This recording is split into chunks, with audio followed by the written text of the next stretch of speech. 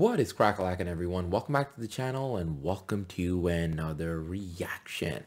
And the next Scream, geez, Scream 5, almost upon us. I think it's releasing this weekend. So the final trailer is here. Let's check this out.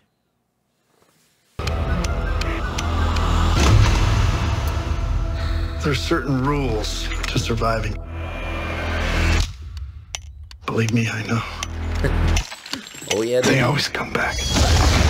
The killer is a part of something in the past. This one just feels different.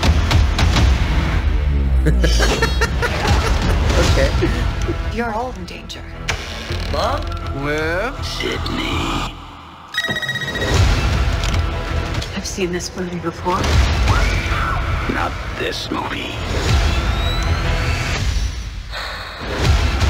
You said we were gonna finish this. He's getting Go a lot of finish good it, Sidney. ratings. Jeez. Oh, whoa, okay, that was a good shot there.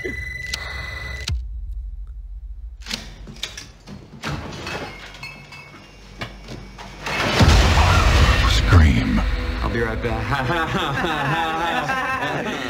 He's dead. Only in theater and special previews Thursday at 7 p.m. Get tickets now. All right. Well, the trailer itself was all right. All right. Now, I mean, it's basically like the other trailers. Obviously, they can't really show much, can't really reveal everything. That makes sense. But I was actually amazed to see how many good ratings this movie is getting. I'm actually not up to date on that. I gotta go check that. I gotta go check that because that was a whole lot of great ratings right there on screen. Jeez, I'm pretty sure that's the reason they made this trailer was like because in the footage and everything, it was pretty much what we've seen before, just kind of different angles and so. Uh, but yeah, they really wanted to show like, look, people, come watch this movie. Look how many great ratings we're getting.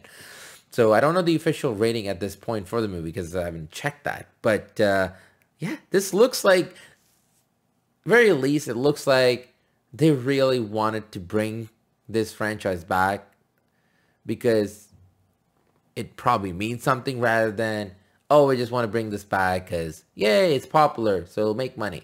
So it does look like there's care put into it. And Ghost face going all like crazy with a flamethrower. Yeah, that's modern times there.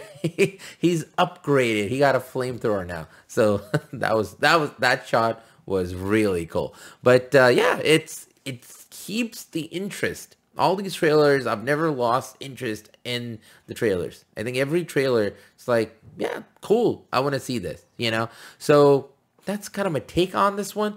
What do you all think about this franchise and this movie? Are you excited? Are you kind of done with this franchise? Leave a comment below.